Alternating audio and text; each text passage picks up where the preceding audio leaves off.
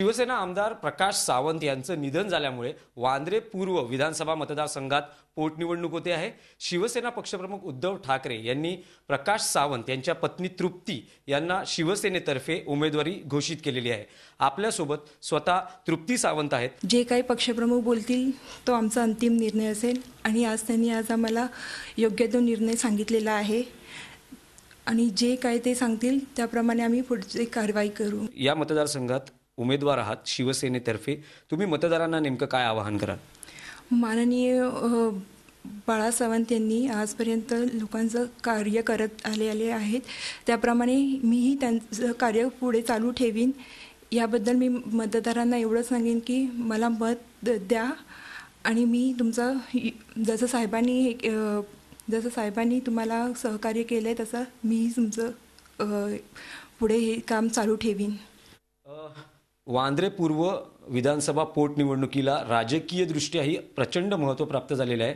कारण काँग्रेसतर्फे काँग्रेसचे ज्येष्ठ नेते नारायण राणे यांना या मतदारसंघातून उमेदवारी दिली जाईल असे स्पष्ट संकेत मिळत आहेत.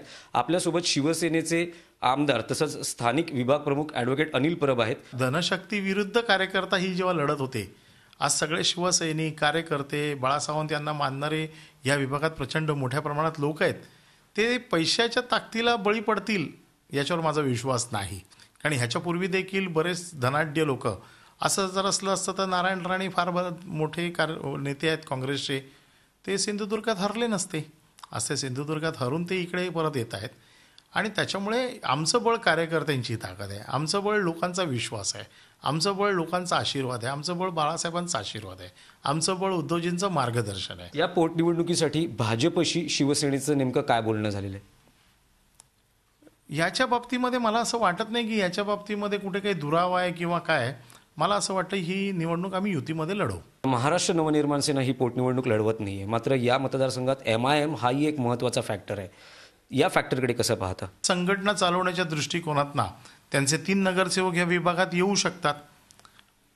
अशी ताकद त्यांची या तीन विभागात आहेत. कारण तीन मस मुस्लिम बहुल कॉर्पोरेशनचे वॉर्ड या वांद्रे पूर्व मतदारसंघात आहेत. आणि त्याच्यामुळे त्यांनी काँग्रेसबरोबर जायचं का त्यांनी स्वतंत्र लढायचं हा त्यांचा आता प्रश्न आहे. आणि त्याच्यामुळे मला असं वाटतं की त्यांच्या पक्षाच्या भवितव्याचा विचार करून मला तर असं वाटतं की लढत एम आय एम विरुद्ध शिवसेना होईल.